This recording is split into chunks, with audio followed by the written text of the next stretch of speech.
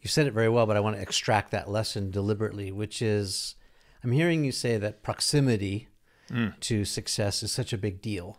And you know, I'm thinking of that quote that Jim Rohn gets credited with. You know, like you are the sum total of the people that you hang around, whether that's five people or fifty people.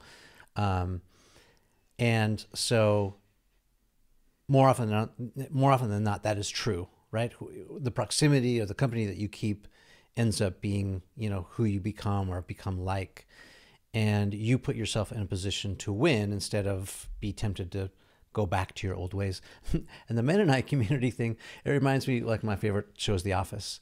And I think of Dwight Schrute and that, you know, Mennonite community is very much the right Schrute Farms, the Beet Farm, you know, out, you know, the, the old ways. Um, and again, you, you can't get in too much trouble, again, putting yourself in the proximity of a town that's only 3,000 people or, you know, each time you chose proximity to insulate yourself, to protect yourself at first, yeah. and then, and then that enabled you to find the opportunities or really get more clarity as okay which direction i want to, go. So proximity was your first step. And then the second step was okay now that i have clarity now i can, I can sort of start the engine and start going. Yeah absolutely. Yeah. and uh, i've there's a, a great book by ken coleman called the proximity principle and it's that idea i've continued to compound that so i have i've heard i heard someone say yeah if you hang out with five alcoholics, you'll probably be the sixth. If you hang out with five people that are obese, you'll probably be the sixth. If you hang out with five people that are broke, you're probably going to be the sixth. Yeah.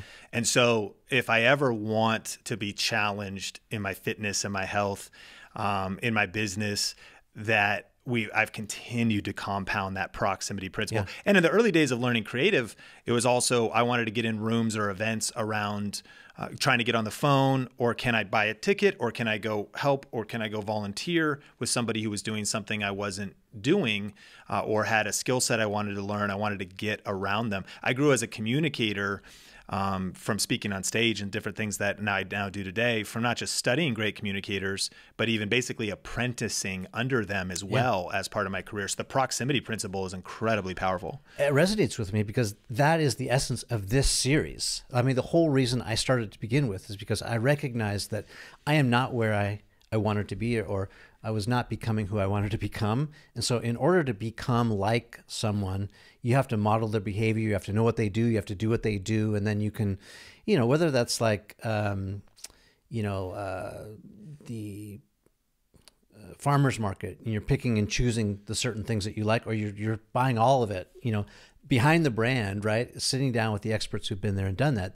It's all about learning and modeling other people's behavior so that you can implement it into your own business, your own life, and and become who you want to become. So totally resonates with me. I like that. Even gives me goosebumps thinking about it. Um, okay, so from the youth ministry, uh, you started kind of get your chops, you honed your skills. And what happened next? Yeah, so I've been doing video for 20 years since 2003. I've been doing YouTube for 16 because in 2007, if I did my math right, we started a YouTube channel for the church. And so that's super early. Two years after YouTube started, um, 15 minute time limits on upload. So if we uploaded a pastor's sermon for 45 minutes, it had to be three parts. Yeah. No custom thumbnails. I mean, really, it's a year old because, you know, 05, um, it's the two dudes that launch it. Yeah. And then Google doesn't buy it till 06. Yeah. Right. So if you're 07, that's extremely early. Extremely I mean, early. There's just a handful of videos on the platform at that point. Yeah. And some of them are these camcorder following dogs on skateboards and other things. All right? kinds of yeah, like yeah. the weird random uh, elephants at the zoo is like that first video. Yeah. yeah. And so so super early in YouTube. And then what was really cool about this particular church that I was a part of was they had a whole kind of track of teaching, which was um like like they had this conference called powered powered to prosper or something and it was the business like a lot of people think about the bible of course and its application to family and life and just faith and how we treat each other which is all the above. But you, you it's much of a smaller niche to think about what does the bible have to say about business owners and creativity and entrepreneurship. That was actually a lot of things i was learning in those days and even the senior pastor's wife encouraged me to start a side hustle. She said you know you've learned this skill of video and you've shown promise in it, but I was all self taught and just voraciously learning. And there wasn't all the resources. There was no behind the brand. Yeah. There was not, uh, there was like early companies, Philip Bloom, I'm sure you're familiar. I bought Oh, yeah. his DVD for $300 on the Canon 7D to learn all his settings. And Still Motion was this cool wedding videographer kind of community that made these incredible wedding videos. All their tools and tutorials and some of their training. Um, I found that on Vimeo in those days. So I'm like learning. And so in 2009, I started Clear Vision Media, basically as a as a solo business owner that had a diversity of offerings. I'd make people's websites, help them with socials early, but mainly do video production, wedding videos, hip hop music videos, YMCA, local ads for local baseball games in Marysville, Washington, local restaurant videos.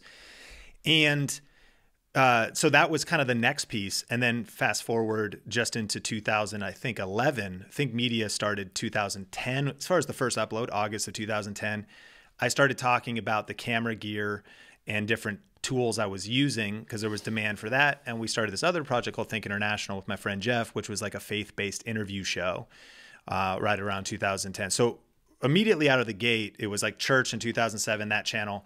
Clear Vision Media was 2009. Think Media and Think International was like 10 and 11. And that put me super early into YouTube. Um, and review style videos. You know? review and so i started to learn about affiliate marketing started to make money online talking about cameras or lenses through affiliate marketing and started to really obsess over youtube is the second largest search engine and the search based opportunity there um, and started to have success ranking videos Yeah. and that was that's i would also rank like i ranked for Bel, Be, uh, bellingham wedding video, videographer so i was getting all these inbound leads as a small business owner in that regard. I ranked the Mexican restaurant video as you would, zero other eh, restaurants at all were thinking especially. And and so started to kind of cut my teeth on even to this day what we've honed and perfected and expanded on in regards to search-based content, setting up passive income connected if your videos are getting views for weeks, months and years to come and there's a way to monetize like affiliate marketing. And so eventually today I wrote the book YouTube Secrets and we have online courses that teach this stuff. I was in the trenches for a ton of years and I also was freelancing during that time. Clear Vision kind of stayed on where I would build out the YouTube channels specifically kind of for some pastors and authors taking like their messages and cutting them down into 7 minutes, titling them really well Yeah. connecting it back to whether a new book they were launching and or an email list they were building because they had an event or they had so um, to the point of proximity principle one of the things that i also loved about all the above is i did feel that someday i wanted to do this stuff. I wanted to write books have events teach and be an educator.